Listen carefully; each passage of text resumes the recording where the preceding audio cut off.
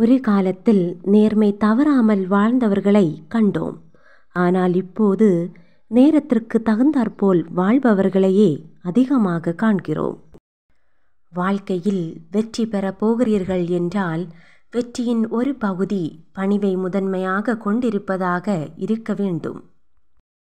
அளவுக்கு மீறிய அன்பை நீ யார் மேலாவது வைத்தால் உயிரோடு இருந்து கொண்டே நீ மரணத்தை அனுபவிப்பாய்.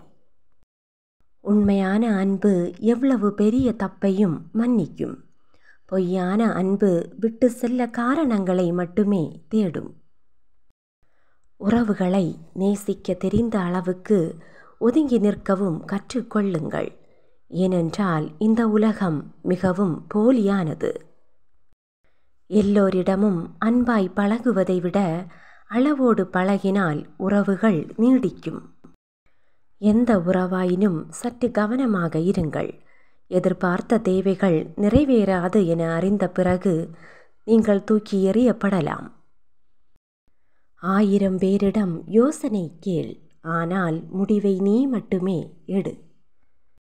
ஏமாற்றம் என்பது வேறொன்றுமில்லை.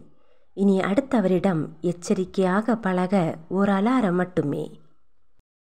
நேராக இருக்கும் ஆணிகள் அதிகம் அடி வாங்குவதைப் போல நேர்மையாக இருக்கும் மனிதர்களும் அடி வாங்கிக் கொண்டே இருப்பார்கள். சகிப்புத்தன்மையின் அளவை பொறுத்தே இங்கு உறவுகளின் ஆயுள் காலம். வாழ்க்கை மிகவும் குறுகியது வாழுங்கள். கோபம் தேவையற்றது அதை தூக்கி எறியுங்கள்.